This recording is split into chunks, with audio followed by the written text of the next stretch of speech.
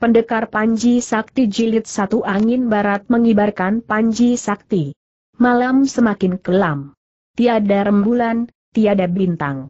Serangga bercengkerama di antara semak ilalang, membuat suasana di hutan belantara terasa makin sendu, makin hening dan menyeramkan. Dari balik kegelapan tampak berkelebat sesosok bayangan manusia, gerakan tubuhnya enteng bagai walet, cepat bagai sambaran kilat, Ketika melihat Panji Sakti yang berkibar di hadapannya, dia segera melepas bajunya, membuka tali kepang rambutnya, dengan dada telanjang perlahan-lahan menjatuhkan diri berlutut, berlutut di hadapan Panji Sakti yang berkibar di tengah hutan itu, wajahnya nampak sendu, sedih dan murung. Dia berlutut di depan Panji itu, berlutut tanpa bergerak, kaku bagai sebuah arca. Di tengah keheningan itu, Tiba-tiba terdengar suara derap kaki kuda yang ramai, menyusul kemudian seseorang menghardik dengan nyaring, sudah datang ada di sini dua rombongan manusia menunggang berkuda dengan debu beterbangan di angkasa bergerak mendekat. Rombongan di sisi kiri terdiri dari tiga orang dengan tiga ekor kuda, seorang di antaranya adalah lelaki setengah umur bertubuh jangkung tapi kekar, orang kedua adalah seorang pemuda kecil pendek dengan sorot mata tajam, sementara orang ketiga adalah seseorang berwajah hitam, mengenakan baju warna hitam dengan sebilah pedang tersoleng di punggungnya, hanya sepasang matanya yang nampak jeli, berkilauan di tengah kegelapan. Pemuda itu mencemplak kudanya maju lebih dulu ke depan, sambil merentangkan sepasang tangannya, dia segera berjumpalitan beberapa kali di udara dan melayang turun di depan panji itu. Sementara pemuda kecil pendek bermata tajam itu segera menarik tali les kudanya, ketika lari kudanya mulai melambat, tampak dua sosok bayangan manusia kembali berkelebat, ternyata mereka adalah rombongan yang datang dari sebelah kanan, terdiri dari seorang kakek bercambang dan seorang gadis berbaju hijau. Lelaki bertelanjang dada yang berlutut di depan Panji masih berlutut tanpa bergerak, kakek bercambang itu dengan mengepalkan sepasang tinjunya segera berjalan menghampirinya, mendekat dengan wajah penuh amarah. Pemuda berbaju hitam dan gadis berbaju hijau itu berdiri tanpa bicara di belakangnya, paras muka mereka nampak berat dan serius. Angin malam berhembus makin kencang, di tengah deru angin yang memekakkan telinga, mendadak terdengar kakek bercambang itu membentak nyaring, telapak tangannya langsung dihantamkan ke dada lelaki bertelanjang dada itu. Bentakan nyaring kembali bergema menyusul berkelebatnya sesosok bayangan. Toako, tunggu sebentar seorang lelaki setengah umur telah menangkis pukulan dahsyat itu. Mau apa kau hardik kakek bercambang itu gusar. Tujuh tahun telah berlalu, apa salahnya menunggu sejenak lagi ucap lelaki setengah umur itu sambil menghela napas. Dada kakek bercambang itu kelihatan naik turun tak beraturan, meski amarahnya telah memuncak, akhirnya dia turunkan kembali tangannya. Kuda pelaksana hukuman telah disiapkan ia menegur dengan suara dalam. Begitu mendengar kata kuda pelaksana hukuman, paras muka lelaki bertelanjang dada itu berubah hebat. Sam Siok, buru-buru nona berbaju hitam itu berseru lirih, Sute telah berhasil mendapatkannya, sementara Tecu pun telah berhasil membawa kemari kuda Im Ke Soat, awan.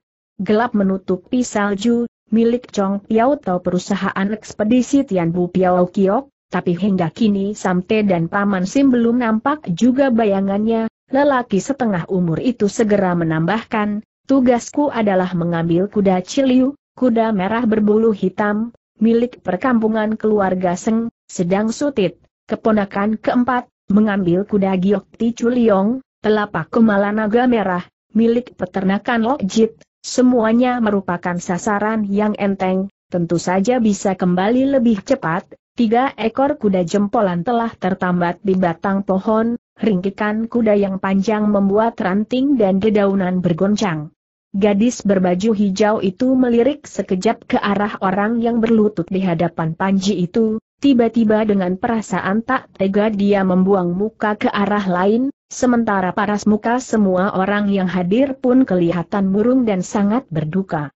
Paman Sim telah datang setelah angin kencang berhembus lewat, lelaki yang menancapkan panji tadi segera berlari mendekat, ternyata dia berlari sambil mengangkat tinggi seekor kuda berwarna hitam dan putih, otot lengannya yang menonjol nampak sangat kekar, butiran keringat membasahi jidatnya, begitu tiba di hadapan rombongan orang-orang itu, segera bentaknya nyaring, terima ini sepasang lengannya diayunkan ke depan, ternyata dia sudah melemparkan kuda itu ke depan.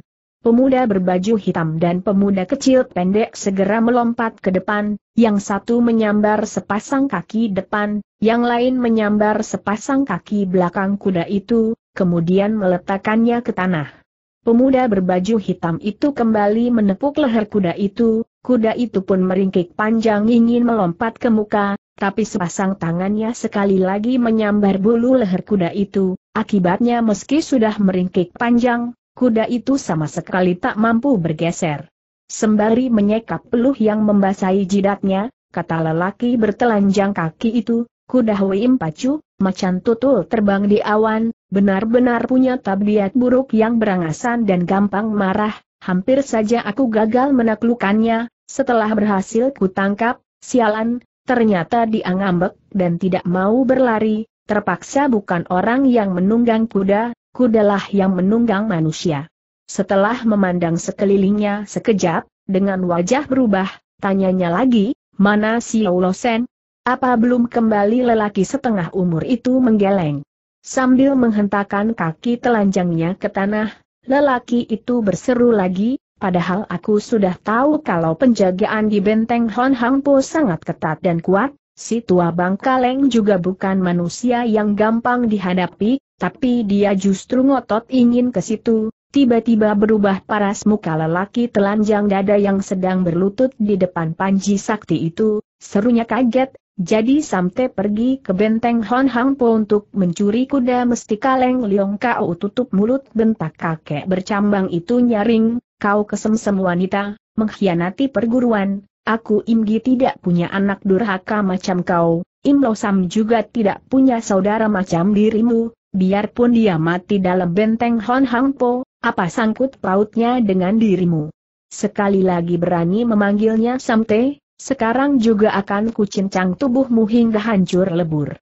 Anak tahu salah, sadar kalau berdosa dan kesalahanku sangat besar, sahut lelaki itu dengan kepala tertunduk, sejak dulu, anak memang sudah tidak ingin hidup terus, kalau sudah tahu perbuatanmu amat berdosa dan salah besar, kenapa masih kau lakukan perbuatan yang memalukan ini? Bentak Imgi keras, Memangnya kau tidak tahu kalau keluarga Im sudah turun-temurun bermusuhan dengan benteng Hon Hang Po? Kemudian sambil merentangkan sepasang tangannya, dia mengeluh kepada langit, tidak disangka, nama besarku sepanjang hidup akhirnya harus rusak dan musnah di tangan anak durhaka yang tidak setia, tidak berbakti seperti kasuara jeritannya keras dan penuh kepedihan, bagaikan lolongan monyet yang sedang dimangsa harimau.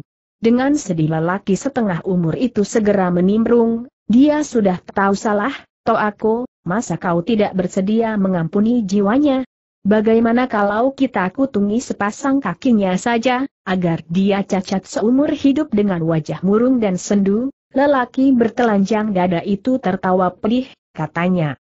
Im Kian telah melanggar pantangan berat, Im Kian bersedia menerima hukuman mati ditarik oleh lima ekor kuda demi ditegakkannya wibawa dan nama baik perguruan Panji Sakti. Bagus puji lelaki bertelanjang kaki sambil mengacungkan jempolnya, begitu baru pantas menjadi anak murid perguruan Panji Sakti biar mati pun aku tidak akan menyesal, kata Im Kian lagi dengan sedih, aku hanya berharap ayah sudi mengampuni nyawa Leng Ching Soat, Urusan ini tidak ada sangkut paut dengan dirinya, semua ini merupakan kesalahanku seorang, lelaki kekar yang tidak takut mati ini ternyata melelehkan air mata, air mata kesedihan, lanjutnya.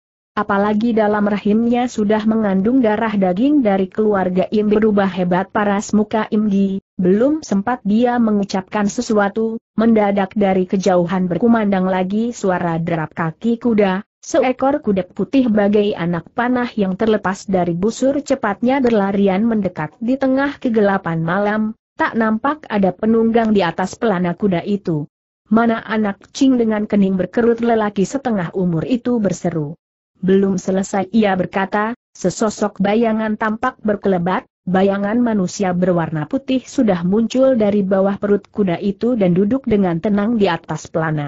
Hahaha, terdengar orang itu tertawa tergelak, akhirnya Leng Liong Kau, kuda sakti naga dingin, berhasil juga kutaklukan di tengah gelak tertawa nyaring, kuda itu seketika berhenti berlari dan berdiri tidak berkutik di depan Panji Sakti, Seorang pemuda berbaju putih berwajah tampan segera berjumpalitan beberapa kali di udara dan melayang turun ke tanah.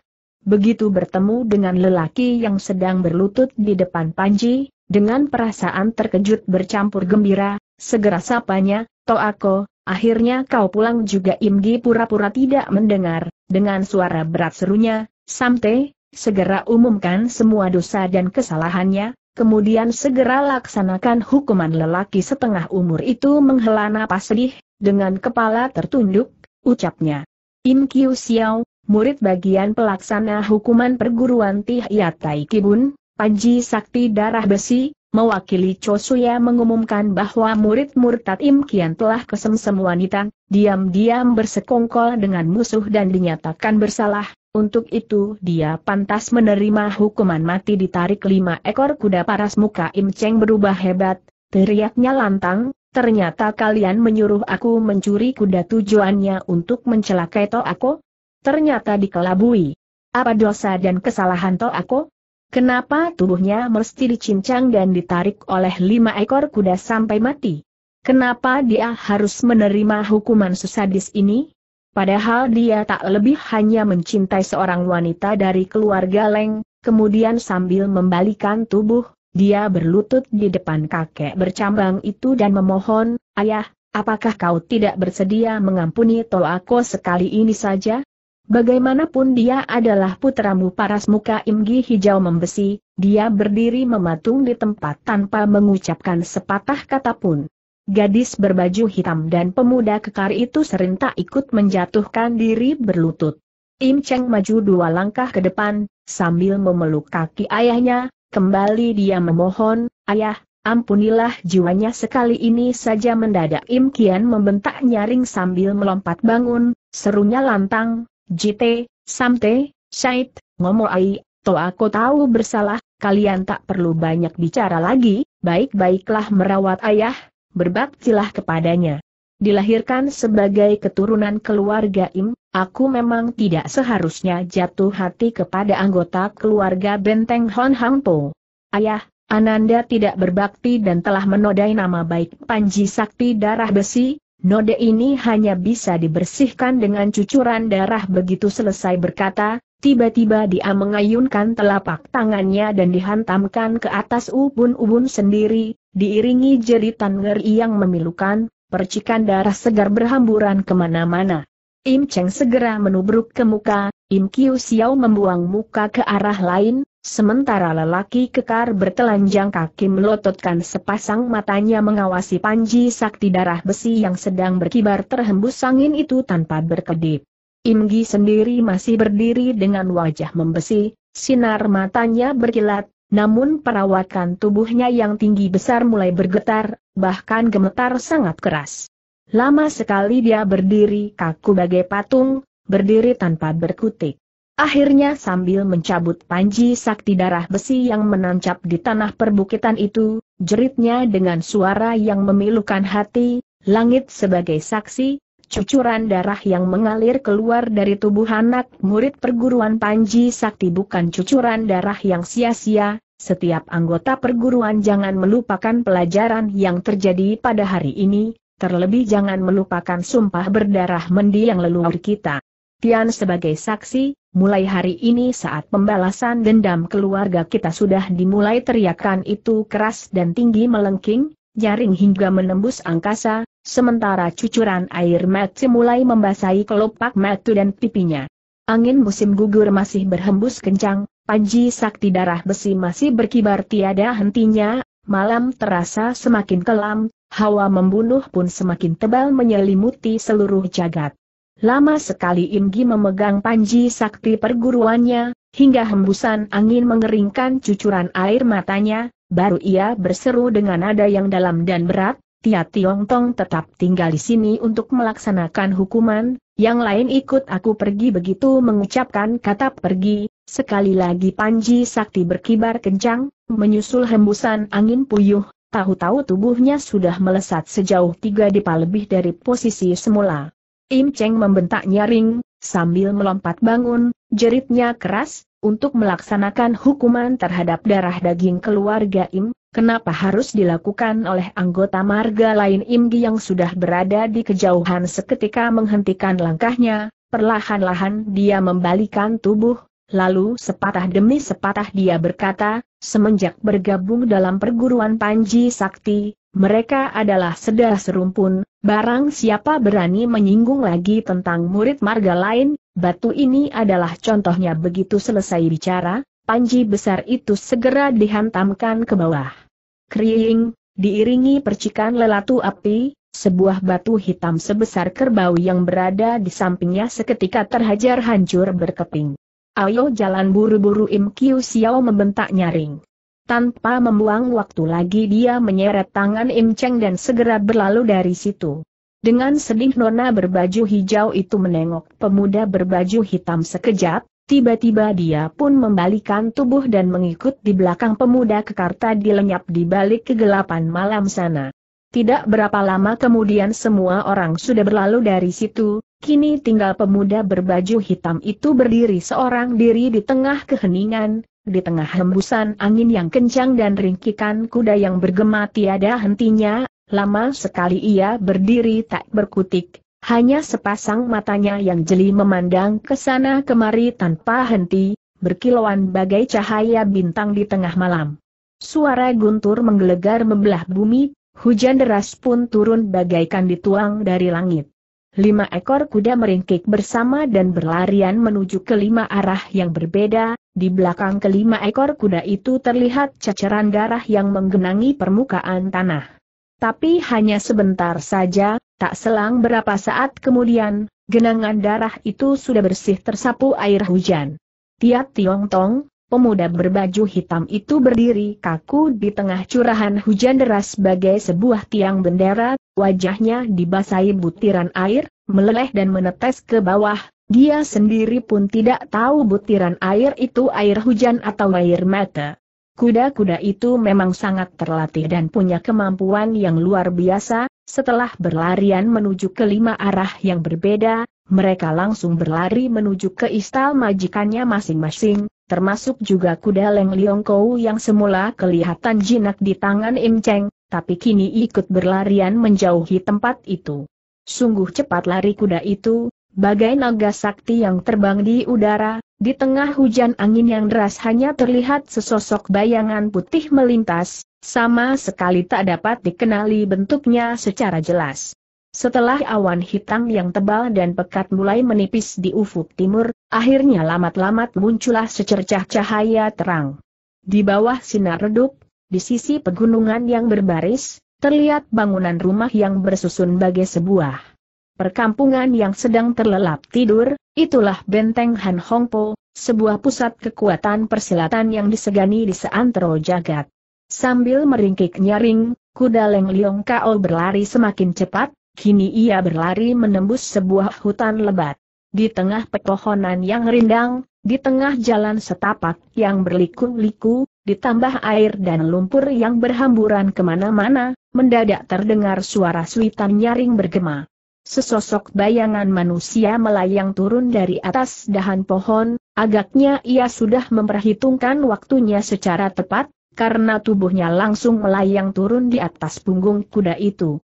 Tapi lari kuda Leng Liong Kau kelewat cepat, baru saja tubuh orang itu meluncur ke bawah, seng kuda sudah berkelebat lewat. Dalam situasi demikian, terlihat orang itu menarik napas sambil melambung ke udara, Kemudian setelah bersalto beberapa kali dia menyambar ekor kuda mestika itu dan mencengkeramnya kuat-kuat. Dengan begitu tubuhnya pun terseret oleh lari kuda itu dan melambung di tengah udara. Tiba-tiba orang itu menarik napas panjang, sekali lagi dia berpekik nyaring, kemudian melayang ke punggung kuda itu. Sambil membelai bulu punggungnya yang halus, terdengar orang itu berbisik lirih, kuda, wahai kuda, masakah kau sudah melupakan aku di balik kegelapan terlihat orang itu berwajah tampan, bermata tajam dan beralis tebal, wajahnya diliputi kesedihan dan amarah, ternyata dia tak lain adalah Im Cheng. Walaupun kuda Leng Liong Kau masih berlari kencang, namun tampaknya dia masih teringat pada pemuda yang pernah menjinakkan dirinya, sambil meringkik rendah akhirnya kuda itu berhenti berlari. Waktu itu sikap Im Cheng jauh lebih tegang ketimbang kudanya, dengan cepat dia melompat ke belakang kuda, di situ terlihat ada dua utas tali kasar yang masih menggelantungan, tali itu penuh dengan percikan darah, juga lumpur, tapi ujung tali sudah tak nampak sepotong benda pun. Mungkinkah sudah terlepas hawa panas yang bergelora dalam dadanya membuat Im Cheng tidak kuasa menahan diri, dia menjatuhkan diri ke tanah dan menangis tersedu-sedu. Toako, oh Toako, sungguh mengenaskan kematianmu, bukan saja jenazahmu tidak utuh, bahkan harus tercecer di sepanjang hutan belantara, sekonyong-konyong terdengar suara hentakan nyaring berkumandang berulang kali, tahu-tahu dari balik hutan sana sudah bermunculan puluhan orang lelaki kekar berpakaian ringkas dan bersenjata tajam, dalam waktu singkat mereka telah mengepungnya rapat, puluhan pasang metu yang tajam berkilauan bagai metu golok yang tertimpa cahaya memandangnya tanpa berkedip. Im Cheng segera tertawa keras, dia mendongakkan kepala dan tertawa terbahak-bahak. Hahaha, kemari, ayo kemari, aku memang sedang mencari kalian untuk membalas dendam sakit hati Toakoku baru selesai dia berteriak, tiba-tiba empat orang lelaki kekar yang semula menghadang di hadapannya telah menyingkir ke samping dan membukakan sebuah jalan lewat. Menyusul terlihat seorang kakek kurus kering, berjubah putih, bertopi caping lebar berjalan mendekat dengan langkah lebar. Air hujan masih menetes membasahi topi capingnya, menetes di atas wajahnya yang kering dan penuh wibawa. Orang itu memiliki kening tinggi dengan sorot mata yang tajam, hidungnya agak bengkok bagai paruh elang, di bawah dagunya terlihat jenggot kambing berwarna abu-abu yang berkibar terhembus angin. Begitu tiba di hadapan Im Cheng, segera tegurnya ketus, siapa toakomu, dendam sakit hati apa yang terjalin antara Toakomu dengan benteng Hon Hang Po. Apakah kau anggota perguruan Tih Yatai Kibun Lengnet Hang Im Cheng tertawa seram, kecuali anggota Tih Yatai Kibun, keluarga mana yang bisa memiliki anak laki macam kami? Ternyata kakek berhidung elang itu bukan lain adalah Hon Hang Po Chu, pemilik benteng Hon Hang Po, Leng It Hong. Sambil mengelus jenggot kambingnya, dia menegur dengan suara dalam, tengah malam buta begini, berani amat kau mencuri kuda mestika kami, Leng Liong Kau, nyalimu betul-betul luar biasa. Hujan angin kembali melanda dengan lebatnya, butiran air yang menetes dari caping lebarnya segera menutupi perubahan wajah kakek itu, menutupi juga telapak tangannya yang gemetar. Sambil tertawa dingin seru Im Cheng. HMM, Orang lain boleh saja menganggap benteng Hon Hang Po sebagai dinding tembaga tembok baja, tapi Xiao Ya sama sekali tak memandang sebelah mata, mau datang mau pergi sesuka hatiku, HMMM, terhitung macam apa dirimu itu tiba-tiba Lengget Hang bertanya, perguruan Panji Sakti telah melaksanakan hukuman mati Go Behun Si, lima kuda memisahkan mayat, apakah tujuannya untuk menghukum Imkian? si bocah tidak becus itu kau akan mendapat giliran yang kedua jerit Im Cheng penuh dendam. Tubuhnya segera bergerak cepat, langsung menerjang ke hadapan Leng It Hong. Tiba-tiba terlihat cahaya golok berkelebat, tiga orang lelaki berpakaian ringkas mengayunkan golok panjangnya menyongsong kedatangannya, bunga golok bergetar di udara dan memisah menjadi tiga bagian, masing-masing membabat tubuh bagian atas, tengah dan bawah Im Cheng. Sementara itu Lengget Hang telah menegakkan kepala sambil tertawa seram, serunya, Imgi, wahai Imgi, Lohu mesti berterima kasih kepadamu, anak jahanamu telah menggaet putri keluarga Leng kami. Tidak disangka kau telah mewakili Lohu menghukum mati bajingan itu begitu berhenti tertawa, segera hardiknya, tahan, biarkan dia pergi ketiga orang lelaki itu segera menarik kembali senjatanya dan mundur tiga langkah. Manusia Shim, kembali Lenget Hang berkata dengan suara mendalam, mengingat kau pun seorang Eng Hiong Hohan, kali ini Lohu akan memberi jalan hidup bagimu, lain kali bila berani membuat onar lagi dalam benteng Hon Hang Po, jangan salahkan Lohu membuat kau bisa datang, susah pergi jauh bui, kentut busuk umpat Im Cheng gusar, kau tak perlu berlagak suci, sok berbelas asih, hari ini Xiao Ya justru tak mau balik, bisa apa kau telapak tangannya kembali menyambar ke muka, dengan lima jari tangannya bagai sebuah kaitan, dia mencengkeram ujung sebilah golok panjang, kemudian tangannya digetarkan kuat-kuat. Termakan cengkeraman itu, lelaki pemilik golok itu tak kuasa menggenggam senjatanya lagi, lekas dia melepaskan senjatanya sambil melangkah mundur. Im Cheng mendengus dingin, kembali lengannya menyodok ke muka, Kali ini dengan gagang golok rampasannya dia menyodok jalan darah Ciang Tai Hiat di dada lawan. Dua bilah golok panjang lainnya tak tinggal diam, satu dari kiri dan yang lain dari kanan secepat kilat membabat sepasang bahu Im Cheng, cahaya golok berkelebat bagai rantai dan melintas secepat petir. Sambil membungkukan tubuh, Im Cheng merangsek maju ke depan, Tahu-tahu dia sudah menerobos lewat melalui bawah babatan golok lawan. Sikut kanannya bekerja cepat, ia langsung menyodok lambung lelaki yang ada di sebelah kiri dengan kuat. Termakan sodokan yang tidak terduga ini, lelaki itu meringkuk kesakitan, tubuhnya langsung terbungkuk-bungkuk dan tidak mampu berdiri tegak lagi. Sementara telapak tangan kirinya dengan jurus Tuyap Tiao yang jiu, menusuk balik telapak tangan, mencengkeram pergelangan tangan lelaki yang ada di sebelah kanan, begitu dipuntir sambil disentak ke depan, tubuh lelaki kekar yang bobot tubuhnya mencapai ratusan kaki itu seketika terlempar ke udara. Ling Net Hang mendengus dingin, tubuhnya bergeser tiga langkah ke samping sambil menjulurkan telapak tangan. Kanannya, tahu-tahu dia sudah mendorong tubuh lelaki yang terlempar ke udara itu perlahan, Menggunakan tenaga dorongan itu, lelaki itu segera berjumpalitan beberapa kali di udara dan melayang turun kembali ke tanah. Meski berhasil mendarat dengan selamat, tak urung sepasang matanya terbelalak juga mengawasi lawannya, jelas rasa kaget dan ngeri yang mencekam perasaannya belum berhasil dikendalikan.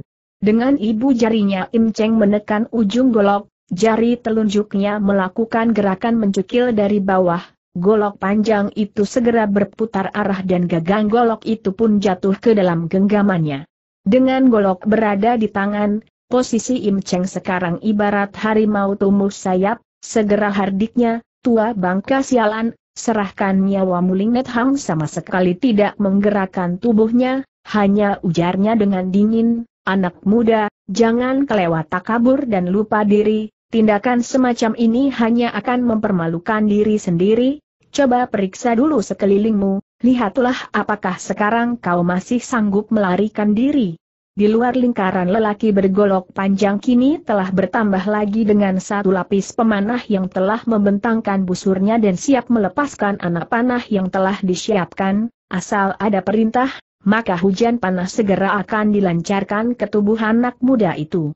Sudah kau periksa dengan jelas kata Lengnet Hang sambil mengangkat telapak tangannya, Asal kuayunkan tanganku ke bawah, perguruan Taiki Bun segera akan kehilangan lagi seorang jagoannya bila kau ingin mengancam dengan menggunakan keselamatan jiwaku sebagai taruhan, maka perhitunganmu keliru besar, teriak Im Cheng sambil membusungkan dada, kalau ingin menyerang, silakan saja dilakukan, lihat saja apakah Xiao Yamu ini bakal mengernyitkan dahi atau tidak HMM. Walaupun kematianmu tidak perlu disesalkan, tapi tahukah kau bahwa hingga kini kondisi perguruan Panji Sakti masih sangat lemah? Tahukah kau apa sebabnya ayahmu telah hidup menderita selama 20 tahun di tepi perbatasan hanya untuk mendidik kalian beberapa orang murid? Tujuannya tidak lain adalah agar kalian kelak bisa membangun kembali kejayaan serta nama besar perguruan Panji Sakti dalam dunia persilatan, Bila hari ini kau mengorbankan nyawa dengan percuma, apakah tidak merasa patut disayangkan? coba camkan kembali ucapanku ini. Im Cheng mendongakkan kepala sambil tertawa seram. Jago-jago yang muncul dalam perguruan Panji Sakti bukan cuma aku seorang, sekalipun hari ini aku tewas di tanganmu, suatu hari kelak tetap akan muncul orang lain yang akan menuntut balas kepadamu. HMMM. Kau tak perlu menakut-nakuti aku menghadapi kematian seperti pulang ke rumah, kegagahan dan keberanianmu memang mengagumkan, tapi menolak nasihat yang baik, keras kepala mengikuti suara hati sendiri justru merupakan tindakan seorang goblok yang kelewat dungu. Sudah, jangan banyak cincong, Tuka Sim Cheng nyaring, kalau ingin bunuh, cepat bunuh, kalau ingin bertarung, ayo kita segera bertempur. Tiba-tiba tubuhnya melesat ke udara, sambil menjejakkan kakinya dia menendang punggung lelaki kekar itu. Saat itu rasa kaget dan ngeri yang dirasakan lelaki itu belum lagi hilang, kini dia semakin terkesiap, buru-buru tubuhnya bergulingan di atas tanah menghindarkan diri dari tendangan maut itu. Siapa sangka saat itulah Enceng meluncur ke bawah dengan kecepatan luar biasa, dari pukulan berubah menjadi cengkeraman, kali ini dia sambar kaki lelaki itu dan memutarnya di angkasa. Tak sempat menjerit kaget, tubuh lelaki itu sudah terangkat ke udara dan diputar kencang bagaikan sebuah gangsing. Menyaksikan rekannya jatuh ke tangan lawan, bahkan digunakan sebagai perisai, tentu saja kawanan pemanah itu tidak berani sembarangan bertindak, untuk sesaat mereka menjadi bimbang dan tidak tahu apa yang mesti dilakukan. Sambil membentak nyaring, teriak Im Cheng, siapa menghalangi aku mampus? Siapa menghindari aku hidup sambil memutar perisai manusia itu, dia menerjang maju ke dalam kepungan dengan kecepatan luar biasa. Seketika itu juga suasana menjadi kalut, karena tak tahu apa yang mesti dilakukan, barisan pengepung itu pun kacau balau tak keruan, dengan begitu terbukalah sebuah jalan. Menyaksikan hal ini, Lenget Hang segera tertawa dingin, serunya, sejak tadi Tio Toa sudah kehilangan nyawanya, apalagi yang kalian ragukan? Dua orang lelaki bergolok menanggapi teriakan itu dengan menerjang maju ke muka, goloknya diayunkan langsung membabat ke tubuh lelaki yang berada di tangan Im Cheng. Begitu kuat bacokan golok itu, tak selang berapa saat kemudian, bacokan kedua orang itu telah membelah tubuh rekannya menjadi tiga bagian. Di mana cahaya golok menyambar lewat, percikan darah segera berhamburan. Im Cheng membentak nyaring, sekuat tenaga dia lemparkan potongan mayat dalam genggamannya ke wajah salah satu lelaki penyerang itu. Lemparan yang tak terduga ini seketika membuat seluruh wajah lelaki itu bermandikan darah, sambil menjerit kaget dia melompat mundur, tapi begitu teringat benda yang dilemparkan ke wajahnya adalah kurungan mayat rekannya yang terbelah, kontan perutnya menjadi mual. Tanpa membuang waktu lagi dia membuang golok dalam genggamannya dan berlarian menjauh dari situ sambil memuntahkan seluruh isi perutnya, lari seperti orang gila. Bagai harimau ganas yang menyerang mangsanya, Im Cheng langsung menerobos masuk ke tengah lapisan cahaya golok, dengan tangan kosong dia melayani puluhan bilah golok panjang yang menyambar di sekeliling tubuhnya. Terlihat bayangan manusia bergerak lewat, diiringi jeritan kaget, lagi-lagi ada tiga orang lelaki kekar yang terseret dan terlempar keluar dari arena pertempuran. Budak-budak goblok yang tidak berguna umpat Leng Itong dengan wajah bertambah gelap. Kawanan pemanah yang berada di empat penjuru sering tak menarik busur masing-masing, siap melancarkan serangan, begitu telapak tangan Lengket Hang dibalik dengan ibu jari menuding ke bawah, Serentak kawanan jago itu membentak nyaring dan melepaskan anak panah masing-masing. Desingan angin tajam seketika memenuhi seluruh udara, berpuluh-puluh batang anak panah bagaikan beribu ekor belalang terbang, langsung meluruk ke tubuh lawan. Mimpi pun kawanan jago bergolok panjang yang sedang mengetung Im Cheng tidak menyangka, pucu mereka begitu tega tidak memikirkan keselamatan anak buahnya dengan memutuskan untuk melepaskan hujan panah. Dalam terkejut bercampur ngeri, serentak mereka memutar goloknya sambil kabur ke empat penjuru, dua orang di antaranya yang kabur agak terlambat seketika tertembus panah, diiringi jerit mengerikan yang memilukan hati mereka jatuh bergelimpangan di tanah dengan dada tertembus puluhan batang panah. Sejak semula Im Cheng telah mempersiapkan golok dalam genggaman, sambil memutar tubuh dia memainkan goloknya kian kemari, seketika anak panah yang tertuju ke arahnya berjatuhan di mana-mana. Tapi kawanan pemanah itu telah menyiapkan kembali anak panahnya, mereka siap melepaskan serangannya begitu diperintahkan. Dengan pandangan dingin Lengnet Hang mengawasi anak muda itu, katanya ketus, sekarang aku sudah tidak bisa membebaskan dirimu lagi, tangkap dia hidup-hidup atau bunuh dia di tempat mendadak dari balik rindangnya dedaunan sebatang pohon raksasa, muncul seorang gadis, meski berbaju perlente, namun keadaannya amat mengenaskan. Dari belakang gadis itu, di balik dedaunan yang lebat, terdengar seseorang berseru dengan suara dingin, Lengget Hang, kau masih menginginkan nyawa putrimu berubah hebat paras muka Lengget Hang? Siapa kau hardiknya, cepat bebaskan dia tidak sulit bila ingin ku bebaskan putrimu, silakan kalian antar pemuda Shim itu keluar hutan, ku jamin nyawa putrimu tak akan terusik. Lingnet Hang tertawa dingin. HMM, Ternyata anak murid perguruan Panji Sakti pun mampu melakukan perbuatan sebejat itu, hari ini sepasang Metlengnet Hang betul-betul terbuka ejeknya. Siapa bilang dia adalah anggota perguruan Panji Sakti? teriak Im Cheng Gusar.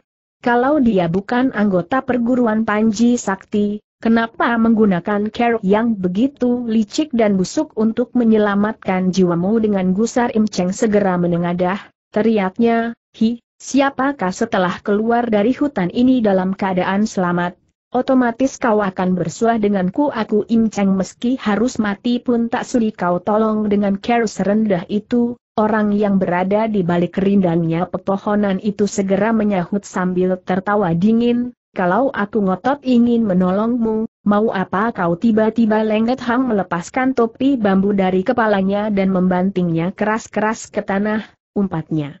Selama hidup Lohu paling benci dipaksa orang, hari ini aku benar-benar dibuat celaka oleh kasih budak sialan, mundur teriaknya kemudian.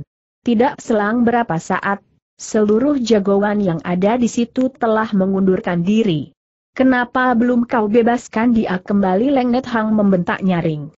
Orang Sim toh belum pergi dari situ jawab orang itu sambil tertawa.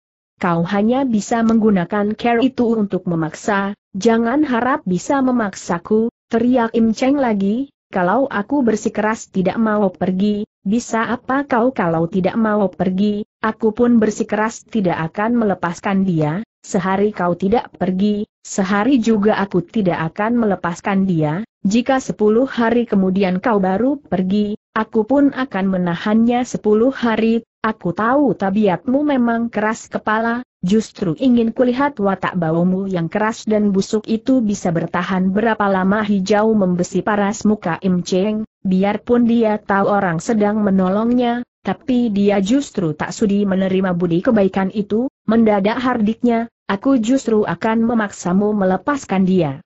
Tahu baru saja tubuhnya berputar, telapak tangan Leng Itong sudah dihantamkan ke ulu hatinya. Kurang ajar teriak Im Cheng gusar, Aku berbaik hati menolong putrimu, kenapa kau malah membokongku? Hahaha, orang di belakang pohon ikut tertawa tergelak, aku pun berbaik hati ingin menolongmu, kenapa kau pun membokongku? Kontan Im Cheng terbungkam, tak sanggup berkata lagi.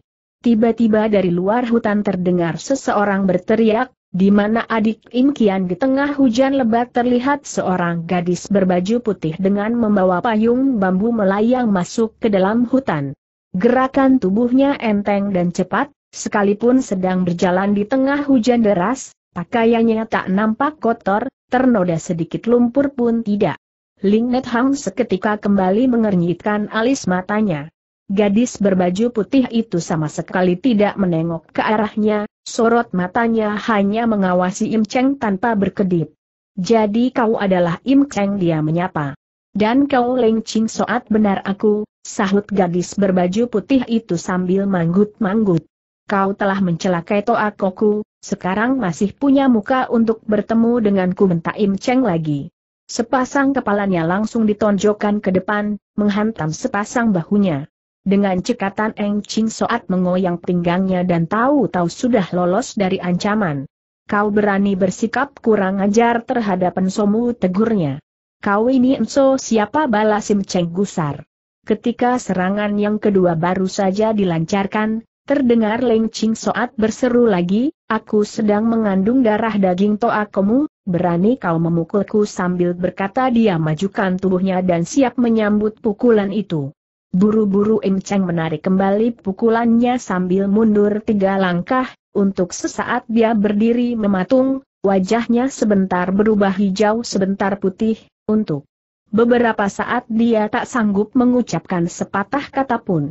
Setelah menghela napas panjang kembali Leng Ching Soat berkata, setelah Toa Komo meninggal, sudah seharusnya kau turuti perkataan Nsomu, cepat tinggalkan tempat ini, Ketahuilah Ensomu adalah seorang yang bernasib jelek butiran air matanya kembali bercucuran membasahi pipinya. Im Cheng memandang sekejap air mata yang membasahi wajah perempuan itu, kemudian memandang sekejap pula ke arah gadis yang ada di atas pohon, akhirnya sambil menjejakkan kakinya dengan gemas, dia berlalu dari situ dengan langkah lebar. Mendadak berkelebat kembali selapis hujan cahaya yang menyilaukan mata. Puluhan titik cahaya perak yang membawa desingan angin tajam meluncur datang dan mengurung radius beberapa dipa di sekeliling tubuhnya. Dengan cekatan Im Cheng menjatuhkan diri ke belakang, lalu melejit ke udara dan berputar tiga kali. Teriing, teriing, lapisan hujan perak itu bergerak membuat satu lingkaran, kemudian baru berkumpul menjadi satu. Setelah saling membentur di tengah udara, Hujan perak tadi baru menyebar ke empat penjuru dengan kekuatan yang sama sekali tak berkurang. Kali ini lapisan hujan cahaya itu mengancam ke wajah dan dada anak muda itu. Im Cheng mengayunkan sepasang tangannya berulang kali, di tengah deru angin pukulan yang bergelombang, akhirnya ia berhasil merontokkan semua hujan cahaya itu, ternyata benda-benda itu tidak lain adalah puluhan batang jarum perak yang lembut bagai bulu kerbau. Paras muka Leng Net Hang maupun Leng Ching Soat berubah hebat, sementara manusia misterius yang berada di balik pepohonan ikut membentak penuh amarah, Hi, berani amat kau melancarkan serangan bokongan kepadanya, memangnya nyawa putrimu sudah tidak kau inginkan kalian keliru besar, teriak Leng Ching Soat. Senjata rahasia itu bukan dilancarkan oleh orang-orang Hon Hang Po, apa? Kau masih ingin berkelit seru Im Cheng orang yang biasa menggunakan Tian Li Chiam, jarum gadis langit, sebagai senjata rahasia andalannya hanya ada satu keluarga, ilmu melepaskan M. Leng Long Biao Jiu, Sam San. Tian Hoa, jari tangan lentik penyebar bunga langit, pun tiada duanya di kolong langit, setelah menyaksikan senjata rahasia semacam ini, setelah melihat ilmu melepaskan senjata rahasia seperti ini, Masakah kalian belum bisa menebak siapa pelakunya? Mana boleh kalian timpakan kesalahan ini kepada benteng Hon Hang Po lalu perbuatan siapa? Kalau punya nyali, ayo cepat perlihatkan wajahmu tiba-tiba Lengket Hang menganggukkan kepalanya seraya berkata, Sengto Aso, silakan keluar, bila kau tidak segera tampil, keponakan wanitamu akan kehilangan nyawa gelak tertawa seketika berkumandang dari belakang sebatang pohon besar. Suara tertawanya merdu, lembut dan sedap didengar, bagaikan suara tertawa seorang gadis, tapi yang muncul berbareng suara tertawa itu adalah seorang nyonya tua yang rambutnya telah beruban dan membawa sebuah tongkat besar. Di belakang nenek itu mengikut seorang lelaki setengah umur yang memiliki wajah merah dengan hidung singa dan mulut lebar, kumis dan jenggotnya pendek dan tipis. Ia mengikut terus di belakang si nenek sambil memegangi sebuah caping bambu yang lebar, dengan caping itu dia menutupi kepala si nenek dari curahan air hujan, sementara pakaiannya sendiri yang dikenakan telah basah kuyup. Nenek itu berjalan dengan langkah lebar, bukan saja tidak nampak ketuaannya, bahkan gerak-gerik maupun suara tawanya mirip seorang gadis berusia belasan. Tiga orang menantuku, satu demi satu telah tewas di tangan orang-orang Tai Kibun, ujarnya nyaring, ini membuat putraku selama belasan tahun enggan menikah lagi, Apa salahnya kalau kau pun kehilangan seorang putri untuk menemani menantuku di alam baka? Sekarang anak orang Shim sudah muncul di benteng Hon Hang Po, memangnya akan kau lepas begitu saja nada ucapan si nenek pun terdengar halus dan lembut, jauh bertolak belakang dengan kerutan yang memenuhi wajahnya. Berubah paras muka Leng Hong, tapi sebelum ia sempat berkata, Manusia misterius yang berada di balik pepohonan telah berseru sambil tertawa, rupanya yang datang adalah pemilik perkampungan keluarga Seng yang dulu disebut orang San Hoa Hian Li, perempuan sakti penyebar bunga, Seng To Anio. Berarti yang mengikut di belakangmu adalah Chi Sim Kiam Hek, jago pedang berhati merah, Seng Chun Hao, Seng Xiao Cheng Chu, selamat bersua, selamat bersua Seng To Anio mendengus dingin, tanpa mendongakkan kepala, katanya dingin, HMM, bukankah kau ingin mencabut nyawa Leng Ping? Ayo, lakukan segera. Kini aku sudah muncul di sini, jangan harap manusia Shim itu bisa kabur lagi dari tempat ini hi, Leng Net Hang, sudah kau dengar perkataan itu?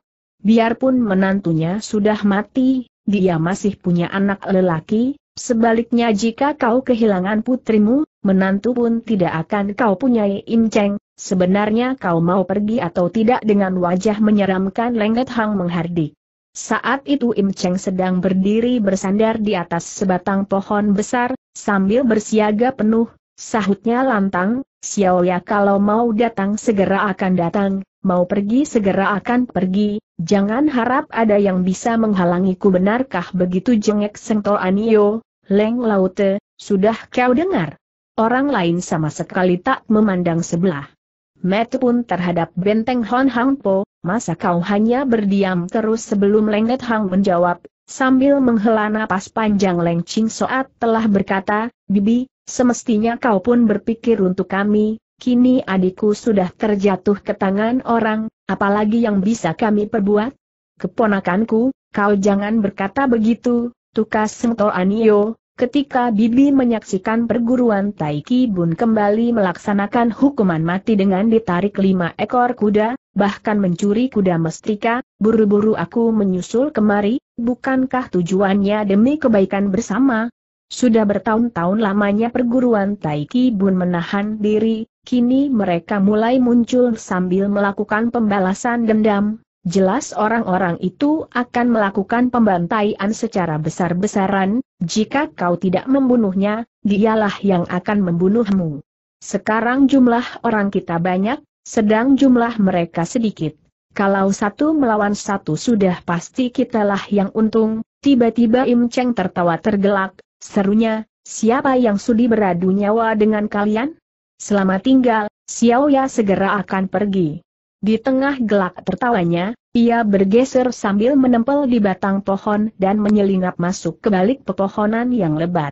Siapa pun tak ada yang menyangka dengan tingkah laku pemuda ini, tadi ketika dilepas, ia ngotot tak mau pergi, sekarang ketika orang berniat menahannya, ia justru memanfaatkan peluang itu untuk kabur. Seng Toanio tertawa dingin. Chun Hao serunya, Hadang jalan perginya pendekar pedang berhati merah Seng Chun Hao menyahut dengan suara dalam, baru saja dia akan menggerakkan tubuhnya, tiba-tiba terdengar suara jeritan kaget dari Im Cheng yang berasal dari balik pepohonan, ah ah ah, rupanya kau menyusul kemudian terdengar suara jeritan kaget Leng Ping yang terjatuh dari atas pohon, lekas Leng Net Hang melompat ke depan dan memeluk tubuh putrinya. Dalam waktu yang amat singkat, terlihat bayangan manusia berkelebat, tahu-tahu Seng Chun Hao telah melolos pedangnya sambil menerobos masuk ke balik pepohonan. Diiringi suara ranting dan dahan pohon yang berguguran tertebas pedangnya, tampak dua sosok bayangan manusia meluncur turun dari atas sebatang pohon. Segera Leng Net Hang menyerahkan gadis yang berada dalam bopongannya ke tangan Leng Ching Soat. Serunya berat, cepat bawa dia pulang Leng Ching Soat mundur ke belakang, tapi sorot matanya masih memandang ke arah depan.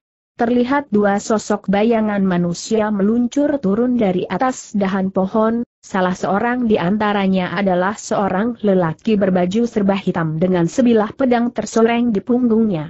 Baru saja pemuda itu siap menutulkan kembali kakinya untuk sekali lagi melambung ke udara, tiba-tiba terasa segulung angin pukulan yang dingin menggigitkan telah menyambar tiba.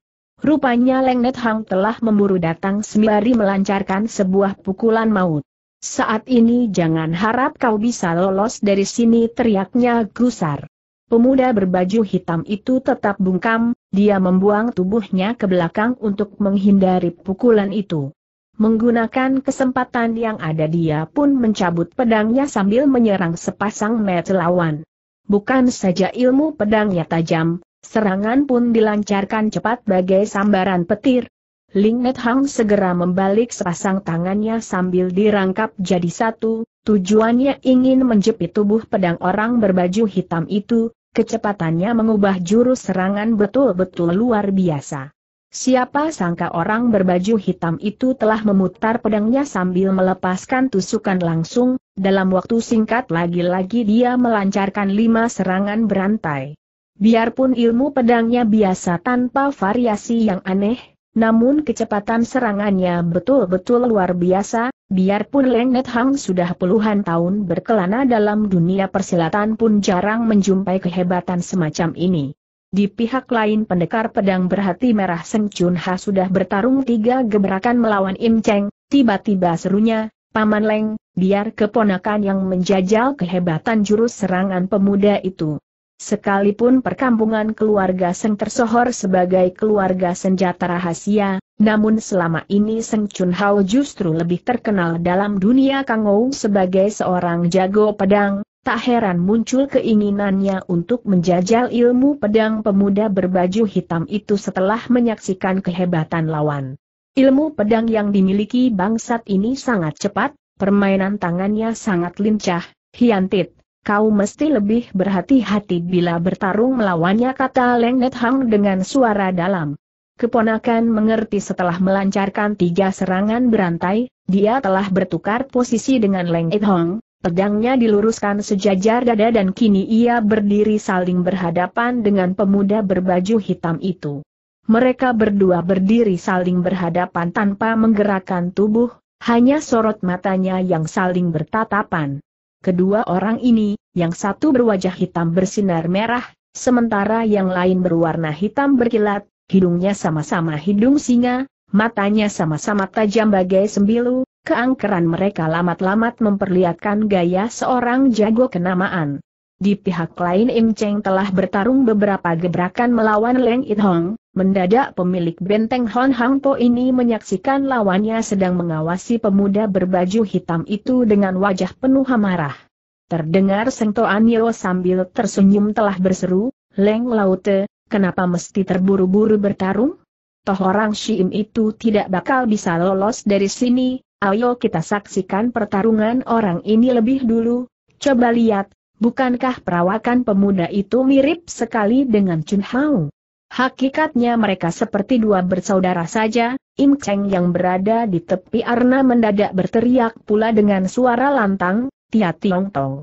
Kalau kau enggan melancarkan serangan, lebih baik angkat saudara saja dengan orang itu ternyata pemuda berbaju hitam itu tak lain adalah murid ketiga dari perguruan Tai Kibun, Tia Tiong Tong. Dia adalah seorang anak yatim piatu dan sudah banyak menerima budi dari perguruan, itulah sebabnya pada hari-hari biasa ia selalu mengalah kepada adik seperguruannya ini.